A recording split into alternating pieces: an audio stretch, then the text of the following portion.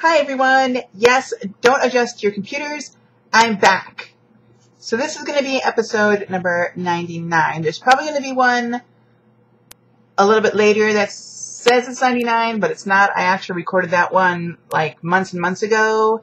But then my editor got screwed up. It was like cutting off the top half of the video and I tried to fix it or I tried to get another one from another computer or and tried to using it on a different computer and nothing seemed to work. So I just deleted everything, started from scratch and found an updated video editor that I can use. It works and looks like things have been solved now.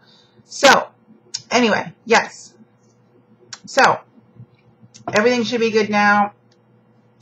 Probably won't be able to record quite as much as I used to because, you know, I'm still here. My dad's retired and he's always around and yada yada. And it's like, uh, I don't really like doing this with people around because it just seems kind of odd to be sitting here talking to you guys while there's people roaming around and I'm saying stuff and they're just like, okay, Serena has lost her mind, but, you know, whatever.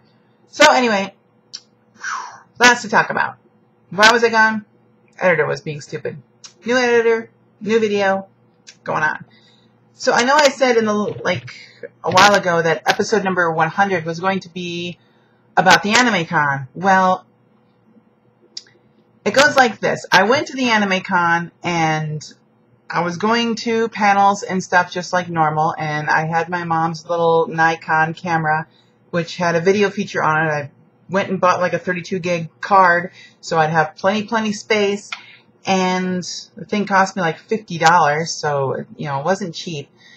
And then I didn't really get a whole lot of pictures, and I didn't really get a whole lot of video. I got a little bit of video of the cosplay chess match, but that was about it because most of the time I was hanging out with this guy that I met named Drew, and yeah, I had lots of fun doing that, and you know, because he was doing Bleach the first day, and I was doing Bleach the first day. He did Bleach the second day.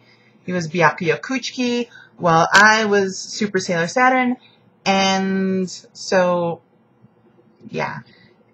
Anyway, I did get some shots, and I'm hoping to probably put them up with episode number 101, because that's just the way it is, and yeah, I I I am a failure. I admit I'm a failure. I did not get anything done that I wanted to do. It was a nice experience though. I stayed in a hotel, but the bed was not as comfortable as my bed at home. But that's to be expected. And yeah, I had a lot of fun, went to a lot of panels. The second day, I was doing Super Sailor Saturn. If you know who Super Sailor Saturn is, you know what, what she looks like. I mean, Google it if you don't know, or Bing it, or whatever you want to do. But, okay, so I got dressed in the hotel room, and I was going down to the convention center to do my thing, and called the elevator, walked in, and there was this, I don't know, probably, like early 30s, late 30s couple in there, and, you know, I just, I just walked in wearing this really, like, you know, out there costume. I mean, no one has seen anything like this before. And I was holding my glaive because I had it made, which, by the way, that is why that's there. Little, little battle scar from the construction of it. But, uh, yeah, so I walked in and I'm just like taking the elevator and the, the woman just kind of looks me up and down and all of a sudden she's like, well, this is something that doesn't happen every day. And I'm like, yeah, yeah, I'm going to the Anime Con. It's in the convention center. and I told my friend Julie at work about it, and she's like, you should just like own it. You should just like walked in there and was like, sup.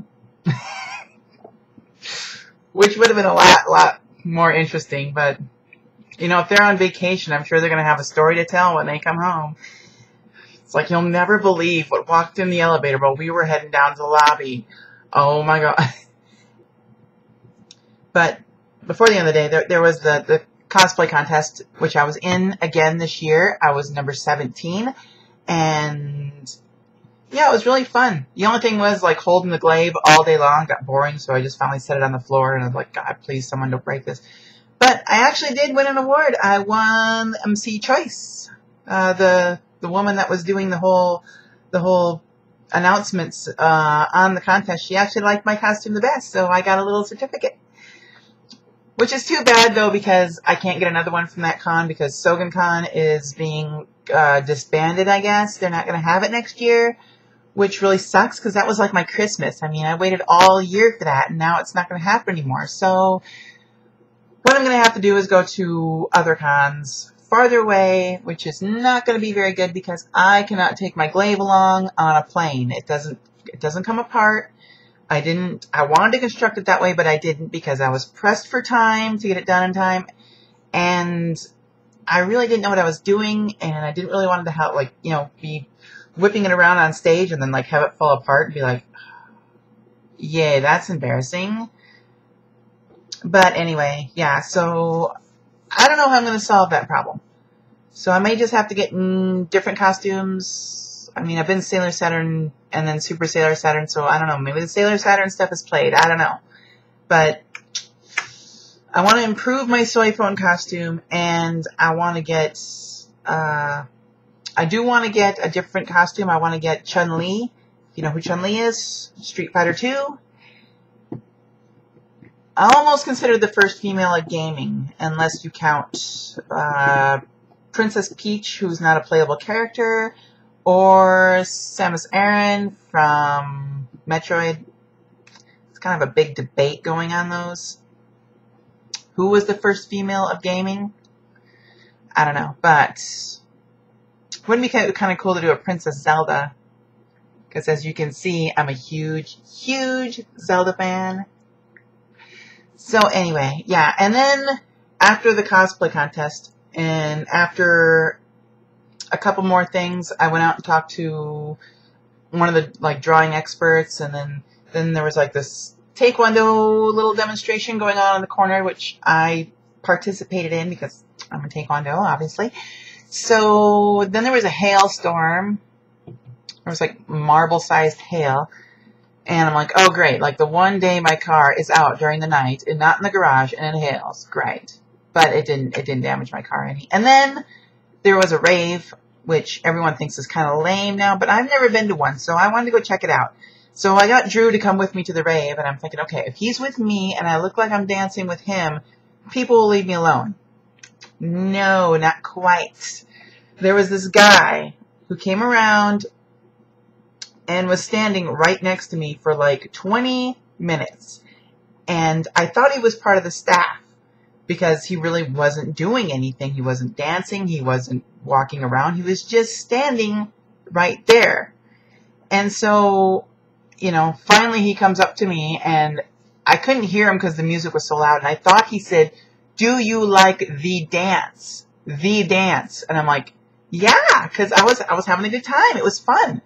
What he actually said was, would you like to dance? I'm like, so after I said, yeah, like really enthusiastically, and then he points to the dance floor and was like, oh crap. well, there's no out of this now. So yeah, I went and danced with him for like, oh, I don't know. It was like the song just would not end. It had to have been at least a half an hour.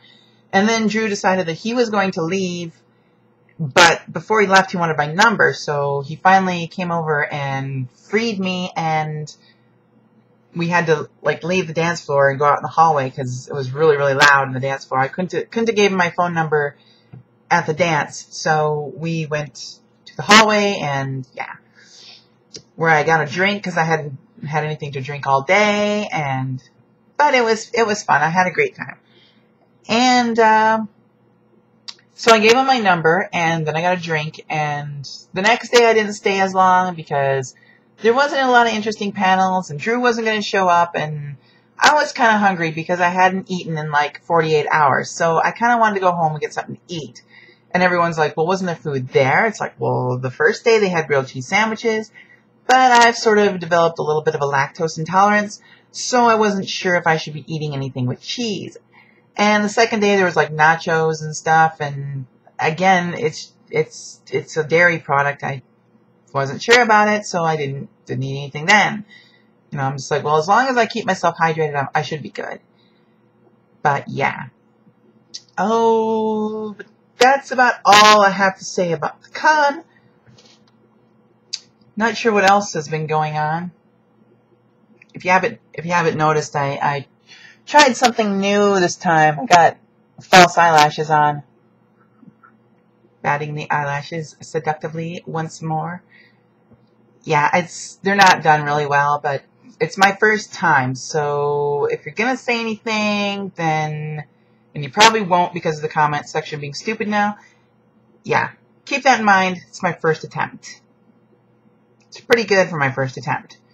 I watched enough tutorials on YouTube to learn how to do it that I didn't think I'd be too bad at it, but yeah, it's, it's, it'll take some practice, so whatever. Oh, yeah, last night I had a call from my friend, uh, Ellie, and I've mentioned her before in these videos about how we used to go snowboarding together. Well, she was on ski boards and I was on a snowboard, and how much fun it was, and regrettably, we didn't spend as much time together as I would have liked because, you know, she was a senior when I met her and like by the time we started hanging out, the year was already half over and, you know, she was going away to college the next year and, you know, I didn't get enough time to, to spend with her as I would have, but then I lost contact with her, um, when she was in college. So she graduated from, from the college that she went to from, from high school and then she went to another college and got a master's degree, and now she's in another college going for a freaking PhD. So it's like, holy crap. I had no idea. Well, I, did know she was freaking genius because she was in a college class. That's how I met her, and she was only in high school, and she was taking college courses. So obviously she was smart. But yeah, so I finally looked her up, and I found her. I called her parents like a couple years ago and, and told them, you know, when she calls just whenever, because I'm sure they keep up with their parents and stuff, tell her that I called and give her my phone number so she can call me. And when they did talk to her again, they just told her that I had called and, you know, they said, well, we, we, you know, said we weren't, yeah, you weren't here and I don't think it's a good idea for you to talk to that person anymore anyway. And she was just like, Jesus Christ, mom, I'm freaking, you can't tell me who I can have in my life and who I can't. So you know, I finally, finally, you know, I looked her up, got her email address, sent her some emails, and like 15 emails later, she decided to call me because she was driving five hours or whatever, but whatever. But she was, but anyway, she was going to be in the car for a long time, and so she decided to to call me while she was on the road, and yeah, we had a good long hour long talk, and it was oh, it was so great. She hasn't changed at all despite like all the 12 years that it's been, she really hasn't changed all that much. She's, she's, you know, after talking to her and, and, you know, listening to her and stuff, she, she seems a lot like I remember, but, you know, so we've had similar experiences. But anyway, yeah, that was awesome. That was like the best thing to happen to me in a long time. I was like waiting on pins and needles. I had to be the longest week of my life waiting for that day to get here because she told me a week in advance because you know she's like I know it's kind of far away but are you gonna be free on this day at this time? Because I'm gonna be driving somewhere need someone to talk to. Because until then we were just emailing each other which which was fine but hearing someone's voice is a lot better so. But anyway yeah that's that's pretty much the only news that I have. Work is still horrible and people are leaving like one after the other. They made the most horrible, disgusting, despicable, worthless human being on the face of the earth the temporary assistant manager while the uh, actual manager is away for the armed forces and stuff and yeah, we all hate her. And, and she went and got like one of our best people fired recently because he didn't show up on a Saturday, yet he's never, ever, ever been scheduled for a Saturday. So he didn't check the schedule and he's not even available on Saturday because he had a different job to go to. But she's like, oh, he didn't show up before and he's on probation, so we should fire him. So they did. So now we're even more shorthanded than before.